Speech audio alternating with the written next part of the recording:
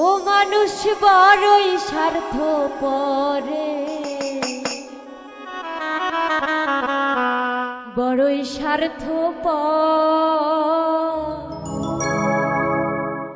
বুকের মাঝে জায়গা দিলে যতন করে ভাঙে রে অন্ত অচেনা এক জংলা পাখি বুকের মাঝে বসে